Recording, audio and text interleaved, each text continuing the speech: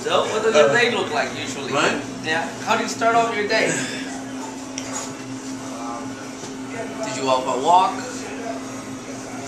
Um, my first today, for instance, I, I come down to meet the Phantom.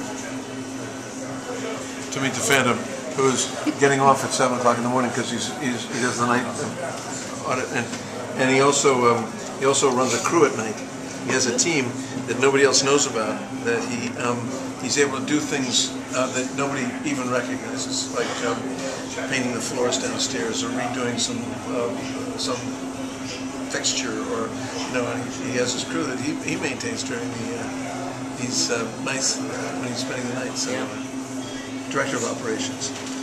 And uh, when I come down and interview with him so what we did or discuss with him so we go over to the next door and we sit down and have breakfast together and uh, then we found one of our guests here who's a poet and uh, engaged him invited him for breakfast so we talked about poetry and about uh, Vermont, and now I sit down with you, and you're two minutes later, and, and, and you're coming in as a as an expert and uh, with eyes from, from Guatemala. You're bringing raw experience from Guatemala, and it impresses us. You know, we discover it, so we shape that. And then what comes next? We have upstairs. We have um, social media art camp starting in a few minutes, which is um, a um, it's called Smarts, and uh, Smart Camp and we use this um, acronym for specific, measurable, attainable, realistic, and time limited for projects.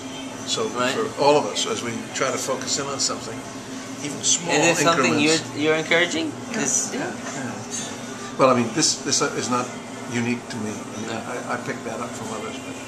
Um, but the Smart Camp is a social media art camp, and we, we created it. And the guys are going to bring in 31, I think, or more uh, different speakers on the social media issues, the uh, the um.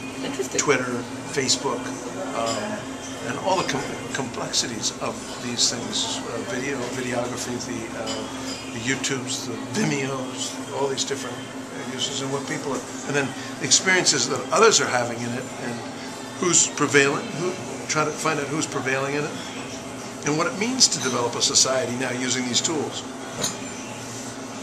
It becomes uh, it it's an unknown in a very much way an unknown territory, and it's uh, sometimes uh, very scary to just get into them, uh, or and or you just throw yourself in the pool, and then uh, see who swims to the paddle. shore. Doggy paddle.